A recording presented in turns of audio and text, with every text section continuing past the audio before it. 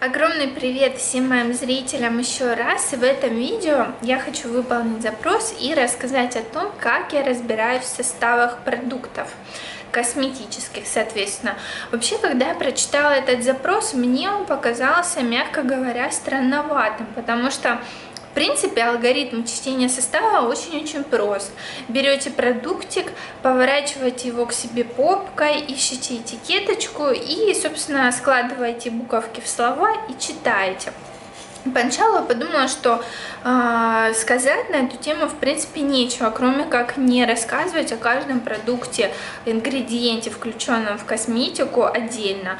Но потом поняла, что есть некоторые нюансы, которые можно упомянуть и, в общем-то, которые помогают реально ориентироваться в составах косметических продуктов и разных, так скажем, фишках производителей. Во-первых, э, хочу отметить, что есть общепринятое правило, о котором, наверное, все знают, что в составе все продукты указаны по убывающей, так скажем, их э, массовой доли. То есть чем больше данного ингредиента в данном средстве, тем ближе к началу списка он находится. Поэтому обычно, допустим, в кремиках на первом месте стоит всегда вода, то есть воды больше всего. На втором месте то, чего поменьше, ну и так далее. В конце списка обычно идут консерванты, э, дешевые какие-то не очень добросовестные производители натуральные вещества тоже пихают в конец списка, так, чтобы они там, в общем-то, присутствовали, но в таких мизерных количествах, чтобы это не повлекло за собой существенные финансовые траты.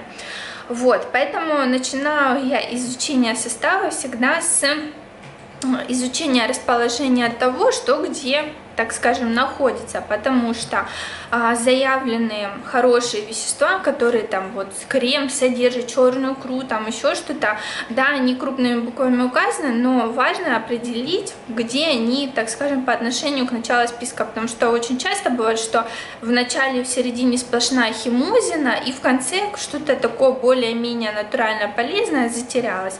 Я такие средства стараюсь не покупать. Особенно внимательно я изучаю первые пять ингредиентов ингредиентов в списке, так как, на мой взгляд, это совсем уж большая часть состава, и если вот первые пять ингредиентов ничего хорошего не содержат, да, то есть это вода и там какие-то обычные силиконы, не знаю, жирные спирты, там, в общем, еще что-то, но ни масел, ни экстрактов там нет, я обычно такое средство не приобретаю. Вот, что касается уловок производителей, так, даже не знаю, с чего начать, но давайте начну с этого. В общем-то, сейчас вам покажу, не знаю, будет ли заметно. Это любят делать, например, Натура Сибирика. На самом деле фирма неплохая, так, не знаю уж, насколько это будет заметно, но, в общем, скажу на словах и попытаюсь вам показать. Они очень любят указывать состав с хитростью, что такое. То есть на первом месте указана вода, да, но для того, чтобы это просто скучно не выглядело, это, кстати, у меня нейтральный шампунь такой Натура Сибирика. Кстати, очень неплохой шампунь. Вот, так он выглядит. Очень даже неплохой, нормальный шампунь. Мне нравится, он очень мягкий э, для волос. Но сам принцип хитрости здесь остается. Вот так он выглядит.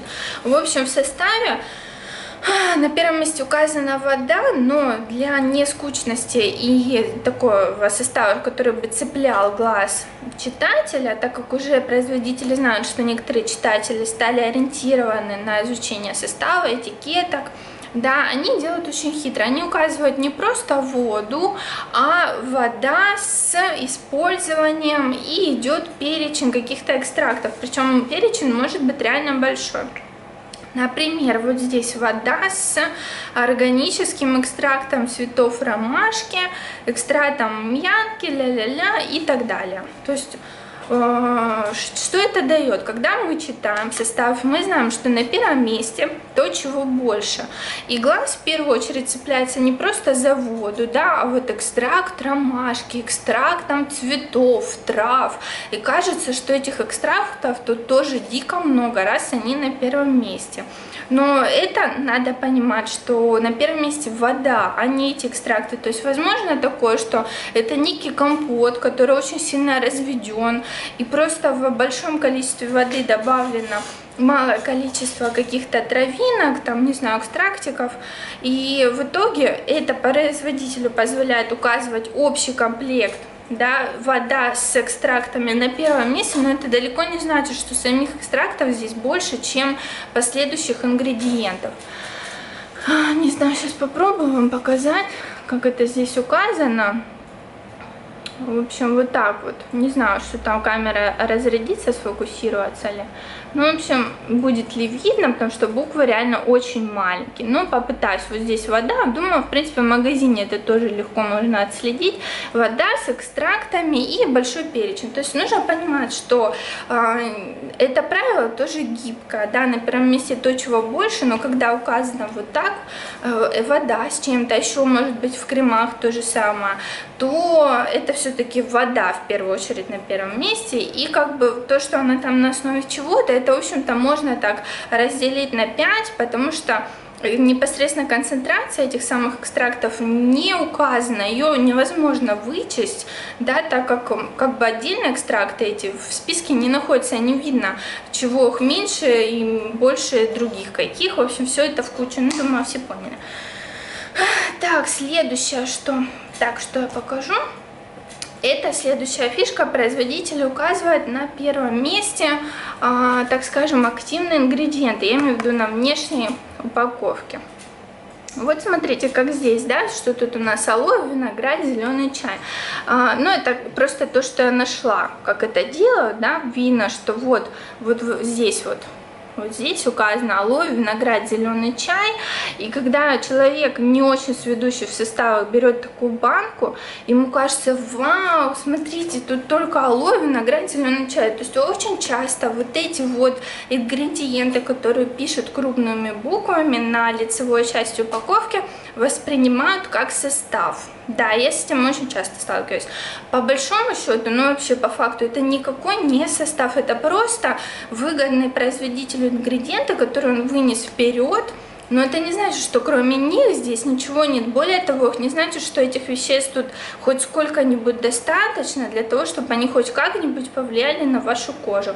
Поэтому всегда разворачиваем задиком, попкой, ищем состав и читаем, видим, что здесь целая куча всего. Причем э, куча не всегда полезна. И для того, чтобы отыскать тут что-то полезное, нужно очень долго ходить туда-сюда глазами, листать взад-вперед всякие строчки, и потом, после того, как вы перелистаете 45 химозных ингредиентов, вы увидите то, что вот это вот где-то там, в общем-то, потерялось. Если смотреть первые пять компонентов, то результат не очень радостный, да, и вот эти все экстракты, которые здесь указаны, они находятся в конце списка, вот, ну, с середины в конец, скажем так, то есть их тут совсем мизерное количество, но с учетом того, что это пенка для умывания, которая в первую очередь предназначена э, очищать кожу, это, в общем-то, не очень критично, потому что она смывается полностью и как бы спрос с нее особый отсутствует. Вот, но тоже нужно это помнить, потому что э, очень часто бывает именно пытаются выдать какие-то полезные штуки за полный состав, вот. И причем у меня было даже, как его там, крем с розовым маслом, который прям таки супер-пупер полезный. И каково же было мое удивление, когда на самом последнем месте был парфюм, и в скобках было с использованием розового масла. То есть понятно, что розовое масло вот такими огромными буквами, розовое масло, да, то есть смотришь, вау, я омоложусь срочно, обморочно, и у меня будет вообще опупенная кожа, розовое масло, это же ценнейший ингредиент. Но стоит перевернуть и почитать, и увидишь, что это розовое масло на самом последнем месте, даже по после каких-то консервантов и, в общем, продуктов, которые, в принципе, в микроскопических долях добавляются. Так, следующее сейчас нащупаю, что хотела вам показать, это еще одна фишка производителей. Смотрим сюда, с экстрактами стопроцентно натурального там чего-то. А, очень часто бывает указывают просто а, со стопроцентными натуральными компонентами, вот так вот. Или, ну да, как-то, в общем, вот так, вот так вот, да, как вот здесь указано. И непосвященный потребитель, когда смотрит, он думает, вау, стопроцентно натуральный продукт, да, то есть вот это, ну понятно, маркетологи на то и рассчитывают. То есть то, что там указывается, супернатурально, экологично, там еще что-то, стопроцентно экологичные продукты. Вот, здесь на самом деле человек, который это читает, он относит вот эту надпись ко всему продукту и воспринимает как характеристику покупаемой косметики, но на самом деле по факту это относится не ко всему продукту, а к какому-то, возможно, одному ингредиенту, который, возможно, стоит в конце списка. Да, то есть как тут там с экстрактами стопроцентно натуральных ингредиентов. Тут может быть один натуральный ингредиент, какой-нибудь, э, вот, в принципе, черная орхидея, да, один. Он расположен в конце списка, и вот эта надпись всего лишь относится к одному ингредиенту, а состав, в общем-то, огроменный, да, то есть все остальное это обычные поверхностно-активные вещества, там чего только нет. Но сам факт, что вот не нужно вестись на уловку, да, и очень часто еще формулировка такая стопроцентно натуральные активные ингредиенты. И, в общем, человек тоже берет, вау, натуральный продукт, стопроцентно натуральный. И в итоге мы переворачиваем и видим, что да, в конце списка есть какой-нибудь лопух, который, конечно же, абсолютно натуральный, он вырос где-нибудь возле трассы какой-то проходной, там, не знаю, в центре России. Конечно, он натуральный лопух, да, но это всего лишь один лопушок натуральный, стопроцентно натуральный лопух. Кроме него еще 50 химозных средств, которым слово натуральность, в принципе, не применимо. В общем-то, не ведитесь. А следующее, что бы я отметила, это использование такой уловки, как замена одних вредных ингредиентов другими. Да? И, в общем-то, а, очень часто рассчитано, что человек, не разбирающийся в составе, а, примет это как более безопасный продукт и сделает выбор в пользу этого продукта исключительно из-за такого маркетингового хода. Например, вот всем известные жидкости для снятия лака, вот здесь написано без ацетона. На самом деле очень-очень часто вот в таких надписях, ну как пример продукта, еще куча продуктов с точно такими же фишками. А здесь, допустим, вместо ацетона используется бутилацетат. А, бутилацетат, ну даже по названию понятно. Я, кстати, посмотрела, что у них одинаковый класс опасности с ацетоном, четвертый. Они оба опасны, оба плохо влияющие там на ногти. По каким-то сведениям, может быть, он менее опасный, но это тоже очень спорно. В общем-то, да, вроде как большими буквами без ацетона, но вместо ацетона такая же фигня. Просто то же самое, только сбоку.